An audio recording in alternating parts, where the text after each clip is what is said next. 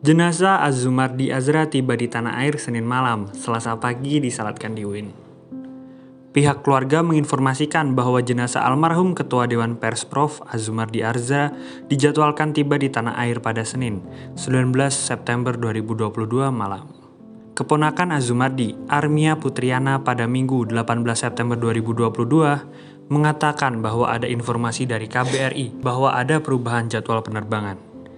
Jadi habis pengajian tadi info dari KBRI ada perubahan jadwal yang awal penerbangan pertama menjadi penerbangan terakhir. Tetapi untuk prosedur pemakaman semua tidak ada perubahan. Ucapnya di rumah duka Azumardi di Ciputat Timur, Tangerang Selatan, Banten, Minggu 18 September 2022. Sebelumnya, informasi menyebutkan bahwa jenazah Ketua Dewan Pers sekaligus Guru Besar UIN Jakarta ini akan diberangkatkan dari Malaysia Senin pagi.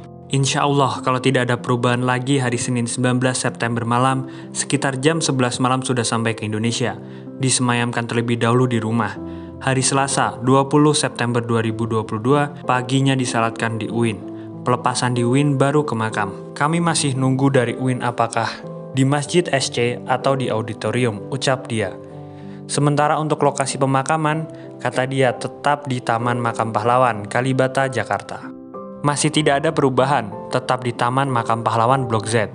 Perubahannya hanya waktu, mohon doanya semoga tidak ada perubahan lagi, kata Armia. Adapun suasana di rumah duka, acara tahlilan telah dilakukan oleh pihak keluarga.